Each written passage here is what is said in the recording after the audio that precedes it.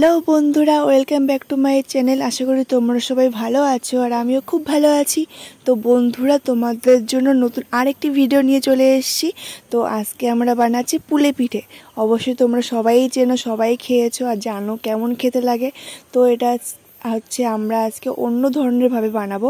মোমো যেমন বানাই, ডিজাইন করে ভাপাই, ঠিক তেমন সেমভাবে বানাবো। মোমো যেমন ময়দা দিয়ে বানাতে হয়, এটা আমরা ময়দা দিয়ে বানাচ্ছি না পুলি পিঠে যেমন বানাতে হয়, চালের গুঁড়ো করে। তো সেরকমভাবেই বানাচ্ছি। ডিজাইনটা করছে আমার মা, ডিজাইনটা কেমন হয়েছে অবশ্যই আমাকে কমেন্টে জানিও। তো এখন হচ্ছে আমি পুলি পিঠেগুলো ভাপিয়ে নেব। তো পুলি পিঠের ভেতরে আমরা সন্দেশের পুর দিয়েছি, সন্দেশের পুর দিয়ে বেশ ভালো লাগে খেতে। আমি এখন অয়েল ব্রাশ করে নিয়ে এখন পুলি পিঠেগুলো ভাপাতে দেব। তো এখন হচ্ছে আমি সাজিয়ে নিচ্ছি থালাতে। আমি কুড়ি মিনিট মতো ভাপিয়ে নেব পুলি পিঠেগুলো। তো পনেরো মিনিট পর একবার চেক করে নেব ঠিকঠাক হয়েছে কিনা বা কতটা বাকি। তো বন্ধুরা দেখো পুলি পিঠেগুলো কি সুন্দর ফুলেছে। আর মাত্র পাঁচ মিনিট বাকি।